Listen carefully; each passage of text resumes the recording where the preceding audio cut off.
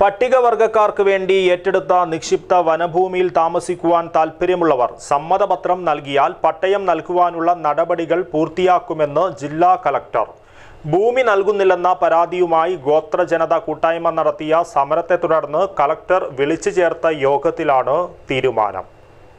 This news brought to you by കേരളത്തിലെ ഏറ്റവും വലിയ tiles and sanitary ware വിൽപ്പനക്കാരായ A B C group A B C sales corporation road Kasaragod പട്ടികവർഗക്കാർക്ക് വേണ്ടി പനത്തടി വില്ലേജിൽ നൂറ്റമ്പത് പേർക്കായി ഏറ്റെടുത്ത നിക്ഷിപ്ത വനഭൂമിയിൽ താമസിക്കാൻ താൽപ്പര്യമുള്ളവർ സമ്മതപത്രം നൽകിയാൽ ഇവർക്ക് ഭൂമി പട്ടയം നൽകാനുള്ള നടപടികൾ അടിയന്തിരമായി പൂർത്തിയാക്കുമെന്ന് ജില്ലാ കളക്ടർ ഭണ്ഡാരി സ്വാഗത് രൺവീർ ചന്ദ് പറഞ്ഞു.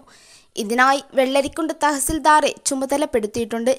അർഹതപ്പെട്ട പട്ടികവർഗക്കാർക്ക് ഭൂമി നൽകില്ലെന്ന പരാതിയുമായി ഗോത്രജനത കൂട്ടായ്മ നടത്തിയ സമരത്തെ തുടർന്ന് കളക്ടർ വിളിച്ചു ചേർത്ത യോഗത്തിലാണ് തീരുമാനം. രണ്ടായിരത്തി ഇരുപത് ഒക്ടോബർ മുപ്പതിന് ജനകീയ സമിതി അറുപത്തിയൊൻപത് ഗുണഭോക്താക്കളെ നറുക്കെടുപ്പിലൂടെ തിരഞ്ഞെടുത്തിരുന്നു.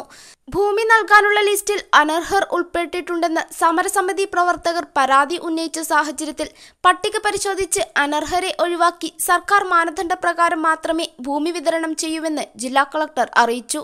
പട്ടികവർഗക്കാർക്ക് ഭൂമി വാങ്ങി നൽകുന്ന ലാൻഡ് ബാങ്ക് പദ്ധതിയിലേക്ക് ഭൂമി രജിസ്റ്റർ ചെയ്യാൻ താൽപ്പര്യമുള്ള ഭൂവുടമകൾക്ക് അതിന് അവസരമുണ്ടെന്നും കളക്ടർ അറിയിച്ചു. പത്ത് ലക്ഷം രൂപയ്ക്ക് ഒരേക്കർ ഭൂമിയോ അല്ലെങ്കിൽ പത്ത് ലക്ഷം രൂപയ്ക്ക് തുല്യമായ വിലമതിക്കുന്ന ഭൂമിയോ കണ്ടെത്തുന്നതിനാണ് തീരുമാനം.